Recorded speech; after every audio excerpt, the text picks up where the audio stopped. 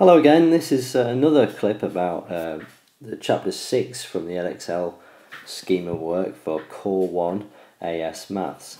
Chapter 6 includes sequences and series and the series can be described using this thing called the sigma notation and it's this that I want to explain in this particular clip. Basically, I know it says here, but the presence of a sigma is used to tell someone that you, you need to do some adding here. That's what it means. It means stuff is going to be added. Um, and basically the reason it exists is because it got really annoying writing a big long list of stuff to add. And we thought, is there a better way of writing the fact I want to do this?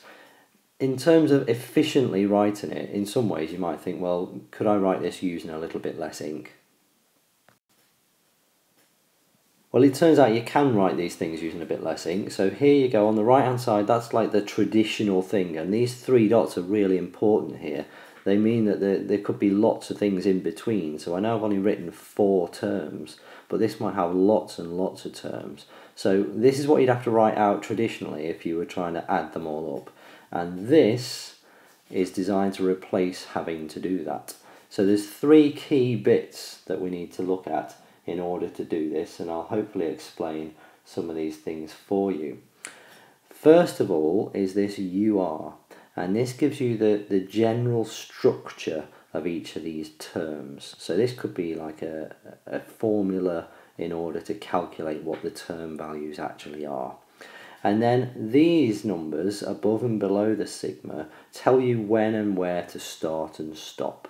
So you first of all substitute r equals 1 into this formula and that will get you the first term that you want to add and then you do the next one which is r equals 2 and r equals 3 and r equals 4 and so on and so on until you get to whatever number this is and that is the last number that you put into this formula and that therefore gets you the last term.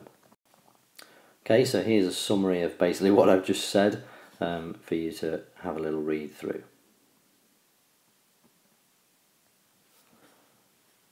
When these type of sigma questions come up on the exam, as far as I can see, I've looked through quite a few papers over the years, uh, there's basically two different strategies for you to do, and it depends on the features of this.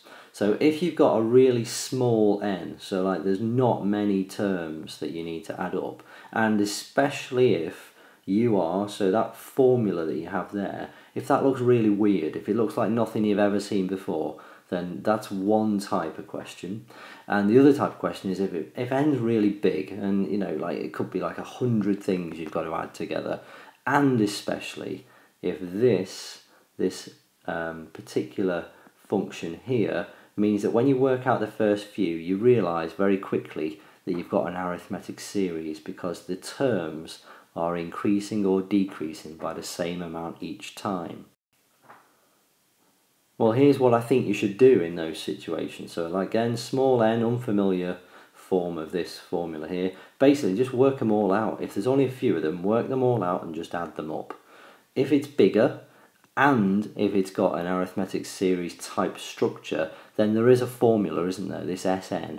And again, there's another video clip which should help you do that. So look at arithmetic series for that. But yeah, two different approaches for two different types of question.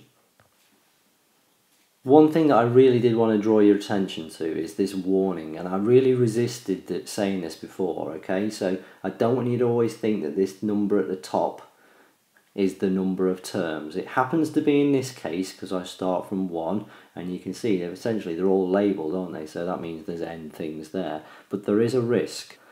If you look at the next one, what we've got here is it starts from 0 okay? And it still goes up to n so this is where the danger is. I don't want you to think all right that number at the top that's the number of terms. Because look it's not is it? There's an extra one here and so I really really want you to be mindful of that. This thing here when it starts at zero has got n plus 1 terms. Just take care when you're doing that one. As I said, this is uh, one of a few clips I've been doing about uh, chapter 6 from the, the Core 1 Edexcel syllabus. Please do look at all the other ones and good luck with all your revision.